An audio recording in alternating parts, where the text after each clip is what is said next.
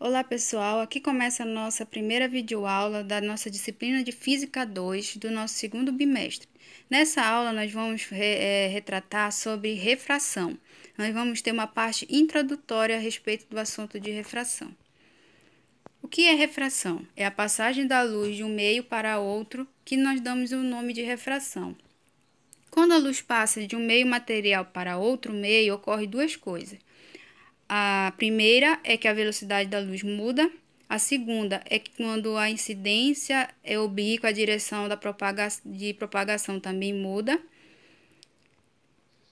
E como essa refração ela é representada? Quando a luz ela incide obliquamente a superfície de separação de, de dois meios transparentes, a refração é acompanhada de mudança na direção da propagação da luz.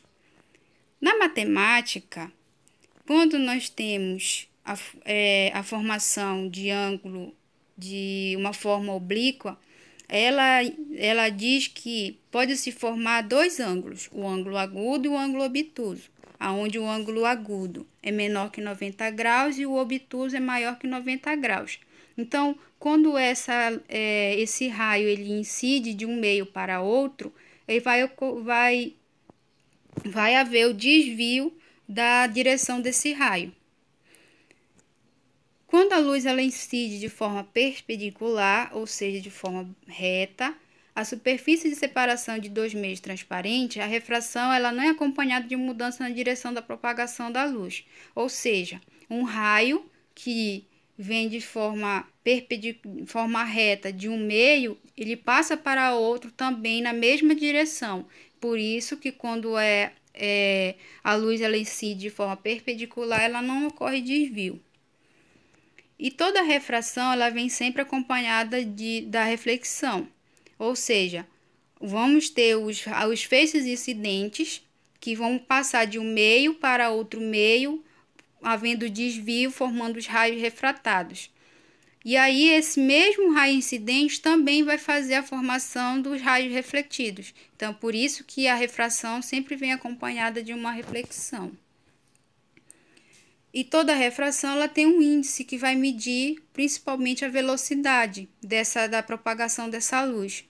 Então ele diz que ao mudar de meio, a luz muda de velocidade, isto é, de certa forma, esperando, pois ao aumentarmos a densidade de um meio, maior será a dificuldade de propagação dessa luz nele. Então a velocidade da luz no vácuo é maior que qualquer objeto pode atingir.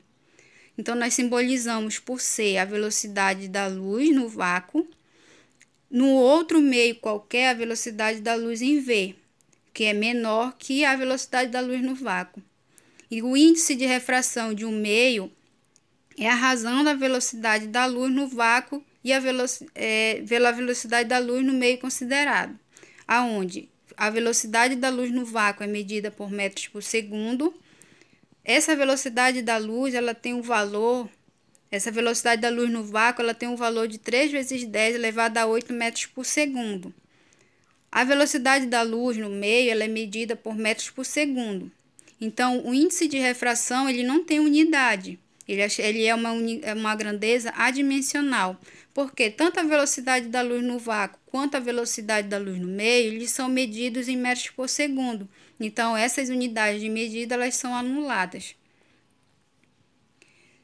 E em meios com índice de refração mais baixo, próximo de 1, a luz ela tem velocidade maior, então ela vai ter mais velocidade, porque ela está próximo da velocidade da luz no vácuo. E quando ela tem é, menos densidade, mais, é, mais refrigência, então a velocidade dessa luz ela tem de ser menor, certo? Mas o que é essa refrigência? A refrigência é a é resistência que o meio oferece à passagem da luz. Então, se nós temos um meio mais refringente, ou seja, oferecendo mais resistência para a passagem dessa luz, nós vamos ter maior densidade, essa luz vai ter menos velocidade e o comprimento de onda dessa luz vai ser menor.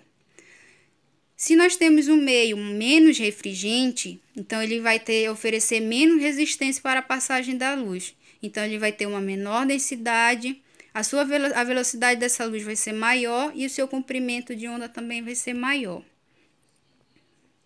E por que as incidências oblíquas a luz ela se desvia? Ele diz que uma parte da onda luminosa entra no meio mais refringente, que oferece mais resistência para a passagem dessa luz, passando até a velocidade menor, enquanto a outra parte da onda luminosa, ela continua no meio menos refringente, onde ela vai ter menos resistência para passar. E vai ter uma velocidade maior e com isso vai ocorrer esse desvio. Esses tracinhos aí são, são repre, representam o comprimento de onda dessa, dessa, dessa, dessa luz, certo? E por que para as incidências perpendiculares a luz ela não desvia? Toda luz luminosa, ela entra no meio mais refringente, aonde ela vai ter mais resistência para passar essa luz. Então ela vai se ela tem mais resistência para passar, então ela vai ter menos velocidade. E nenhuma parte da onda ela se atrasa em relação à outra.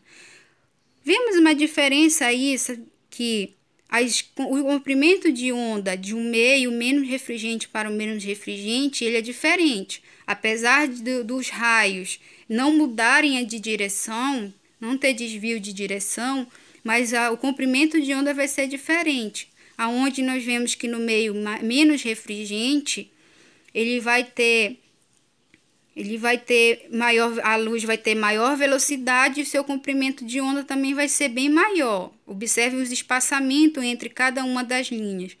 Quando essa luz ela passa do meio menos do meio mais refringente, a velocidade da, dessa, luz, dessa luz aqui ela diminui e o comprimento de onda dela também fica menor, onde a gente observa que as linhas ficam uma próximo da outra. Então, se ela tem mais velocidade, significa que a propagação de onda dessa luz ela é maior. E se ela tem menos velocidade, a propagação de onda dessa luz vai ser menor, certo? E todo fenômeno da física é regido por, uma lei, e a refração também não é diferente. Só vale ressaltar que nas, nas aulas anteriores a gente viu sobre a reflexão, que na reflexão nós vamos ter o raio incidente e o raio refletido e a normal. Aqui na refração nós vamos ter o raio incidente e o raio refratado e também a nossa normal, certo? A primeira lei da refração, ela retrata o seguinte: que o raio incidente, a reta normal, que é o ponto da onde vai ocorrer a incidência, e o raio refratado, eles estão no mesmo plano, ou seja, eles são acoplanares.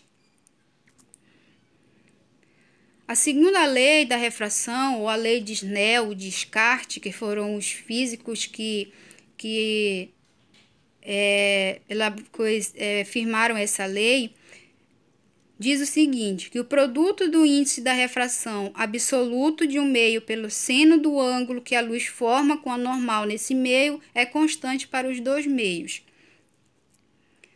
Ou seja, o índice de, de refração do meio 1 vezes o ângulo incidente é igual ao índice de refração do, do meio 2 vezes o ângulo refratado formado pelo, pelo raio refratado, certo?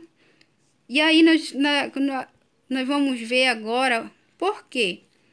Quando a luz ela passa do meio menos para o meio mais refringente, ele diz que nesse caso nós podemos dizer que o raio refratado ele se aproxima da normal.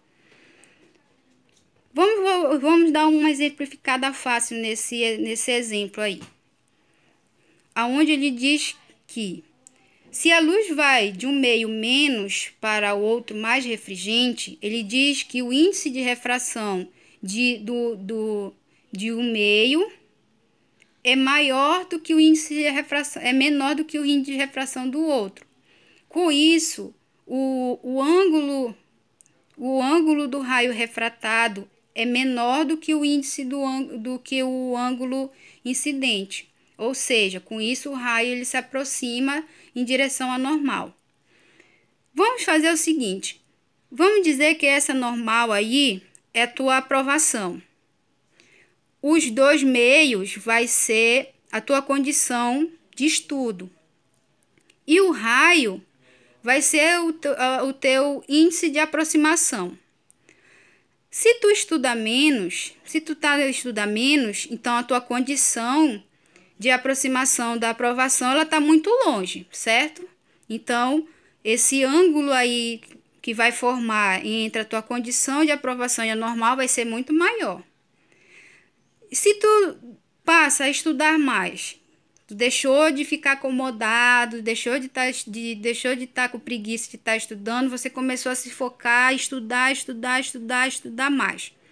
Então aí a tua condição de aprova, de a tua condição de, de, de estudo vai te aproximar da tua aprovação.